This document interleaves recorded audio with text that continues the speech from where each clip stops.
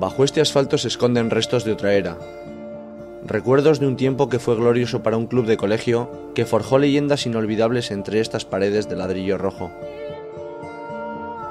A principio de los años 70, cuando los altos hornos aún echaban humo y la sombra del franquismo se diluía, en los patios de un colegio de Baracaldo nacía una seña de identidad, un estilo, una forma de vida. En Vizcaya comenzaba a sonar un nombre, Club Baloncesto Paules. La diferencia de Paules con el resto de equipos, yo creo que ha seguido siendo, no ha perdido la, identidad.